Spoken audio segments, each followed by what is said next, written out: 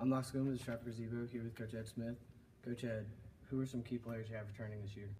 Well, we returned four starters, and uh, one that started some. We have uh, uh, Kerry Woodcock and Evans McCook, who are seniors. Drake Miscall, who's a junior, and Nadia Reese and Mary Lane Mitchell, who are uh, sophomores. And uh, like I said, they've got off to a great start this season, and um, you know we look forward to a you know to a great week this week. How's the team look so far this season?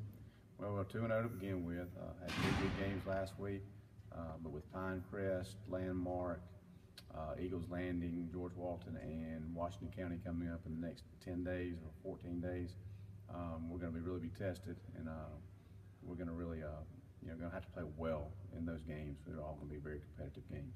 So how's the team look tonight against Pinecrest? Well, Pinecrest is a real, real solid team. They uh, they play well together. They move the ball and um, shoot a lot of threes, and we do too. So it should be an exciting game for people to come out and watch.